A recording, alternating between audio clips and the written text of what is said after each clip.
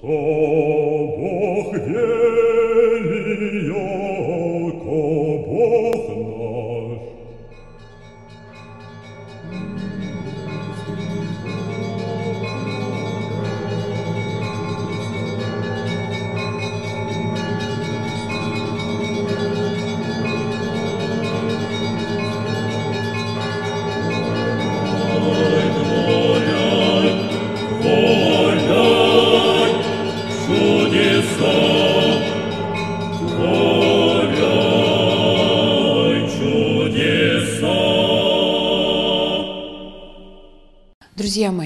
21 сентября в среду мы с вами празднуем день рождения. Замечательный праздник. День рождения, он дорог для каждого человека, потому что сколько бы лет не было, но все равно в этот день человек пришел в этот мир.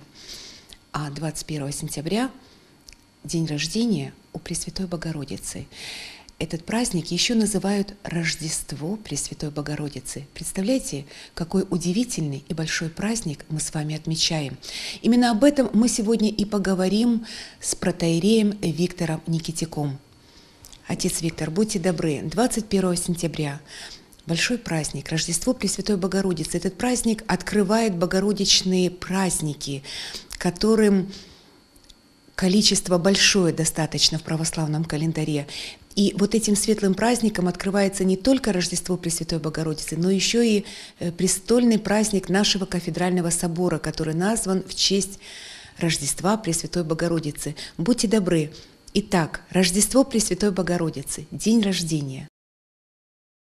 Рождество Пресвятой Богородицы – это действительно величайший праздник, и мы знаем, что это особенный праздник и особенная радость для каждого из нас, потому что и церковь воспевает в своем тропаре об этом празднике, что радость этот праздник всей вселенной возвещает. И действительно, всесильная радость возвещает, потому что рождается в мир та, которая уместила неуместимого, которая является духовной зарею для того, кто дает нам свет, для солнца правды, для того, кто дарует нам спасение всем. И, конечно же, чтобы легче было воспринять, понять, э, какая это радость, мы на простых примерах видим, как вот восстает эта заря, когда еще только вот с темноты утро начинается, дня еще нету, но уже лучи пробиваются, и с этой зари начинается просыпаться все. Начинается новая жизнь. И так точно, как и каждый из нас утром просыпается и начинает радоваться тому, что начинается день, начинается восходить то солнце.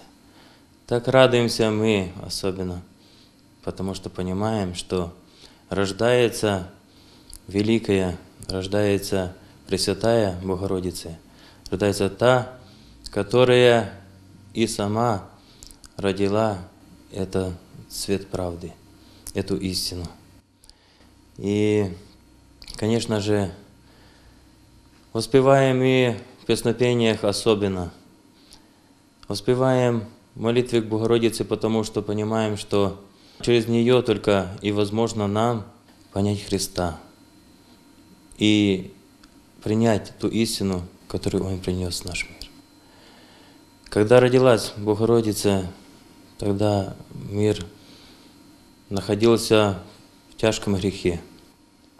Тогда множество народа было в язычестве, и которые не могли глубже уходить в ту яму греха, в которой мир уже находился. И только действительно эта надежда, рождение Пресвятой Богородицы дает, вселяет особую веру, что не пропало ничего, что не кончается жизнь, что и даруются новые. И это как раз спасение нашей души. Мы видим Это потому что действительно через Рождество Пресвятой Богородицы открывается надежда нам на спасение. Исчезает эта клятва, которая дана была от Бога. Прерывается смерть, даруется жизнь вечная. Вот что важно есть для нас всех. Действительно, если в то время и оставались еще люди, которые исполняли закон Моисеев, которые и чтили закон Господа, то и те только множество чтили устами, внешне исполняя этот закон. А как говорил пророк Исаия, что сердце далеко их оставило от Бога. И на пике того всего, в том тупике уже нравственно-духовного падения рождается миру преблагословенная Владычица наша Богородица. Вот поэтому особые ощущения, особая радость и тогда пребывала не только с родителями Пресвятой Богородицы, но со всем миром, потому что действительно даруется надежда на спасение. И мы в церкви воспеваем особые почитания, воздаем и родителям Пресвятой Богородицы, потому что Яким и Анна действительно через всю жизнь прошли тяжким, крестным подвигом бесчаства, моля постоянно, прося у Бога, чтобы даровал им дитя. И уже вот на старости лет своих им Господь дарит такой дар, дарит им ребенка. И не просто, а дитё, которое является наивысшей среди всех матерей, которая является кивотом для святыни, для божества. И, конечно же, мы молим у этих родителей также, молим, чтобы они молились за нас, чтобы мы действительно у них приняли то терпение, смирение, которое они несли в себе. Вот нам представить сейчас на секунду то, что даже первосвященник не принимал от них дар в храме, потому что считалось очень грешным тот род, который не имеет детей, который не имеет чад. И это все надо было им претерпеть, принести.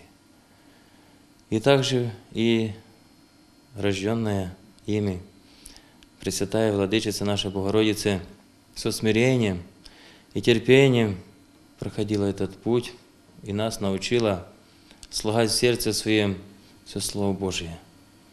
Мы обращаемся особенно в этот праздник, особенно обращаемся к Пресвятой Богородице, чтобы она развеяла тот мрак, который и сейчас в нас, в нашем мире, мрак греха, мрак уныния, мрак злобы, ненависти, чтобы пробились эти лучи солнца, чтобы мы действительно увидели свет Христу, свет истины, свет правды. И к этому свету и шли, потому что это есть наше спасение. И, конечно же, особенная радость для нас, Николаевец, для Николаевской всей епархии, потому что в нас э, кафедральный собор назван в честь Рождества Пресвятой Богородицы. Поэтому особенное празднество, особенное моление в этот день совершается. И особенно, конечно же, обращение к Пресвятой Богородице. И мы верим и знаем, что особое покровительство нашего города и нашей епархии от Пресвятой Богородицы. От этого праздника вы говорили правильно, что и начинаются все остальные праздники года, целого круга, потому что действительно церковное новолетие как раз с сентября и начиналось. И вот как раз с 14 сентября, это по новому стилю, по старому стилю 1 сентября, и начинается круг этих праздников, годовой круг. И как раз начинается с этого праздника Великого Рождества Пресвятой Богородицы. И этот круг не только богородичных праздников, но и всех праздников, которые есть у нас в году, у нас в церкви, в нашей богослужебном круге. Отец Виктор, вы говорили, что Пресвятая Богородица родилась для того, чтобы рассеять мрак, для того, чтобы родить Спасителя мира. И все это время как бы и света больше, но и мрака не меньше. Почему? Все зависит от нас самих. Потому что мы знаем, что и Божья Матерь, Господь наш Иисус Христос, все, каждому страшнейшему и наибольшему грешнику радуется, если он обернется только к ним. И заботится о том, чтобы спасти каждого человека. Но зависит все от нас. Еще как мы сами желаем этого, как мы хотим того, чтобы изменить свою жизнь, как мы хотим, чтобы что-то у нас поменялось. Больше всего мы стараемся находиться вот так вот, чтобы нам было удобно, чтобы нам было комфортно в этой жизни. И поэтому и все постараем только так, чтобы для себя это устроить. Но не думаем о том, что она своим примером показала и нам всем заповедала, что она слагает в сердце своем Слово Божие. Она слушала Христа и слагала эти словеса в своем сердце. Так и нам прислушиваться к этому Слову и слагать в своем сердце, и пронести через все это. Но еще этого не дошли до этого. Хоть и стремимся, но не имеем еще такое важнейшее исполнение задачи, которые поставила и Богородица, и Господь для нас всех. То есть у каждого человека есть к чему стремиться? Всегда есть, конечно. Мы всегда стремимся к совершенствованию. Мы всегда должны стремиться к этому. Если человек стоит на месте, он не стоит на месте, он падает. Поэтому необходимо всегда заботиться о том, чтобы только совершенствоваться, каяться в своих грехах, просить прощения у Господа Бога и изменить свою жизнь. Потому что покаяние – это есть изменение своей жизни.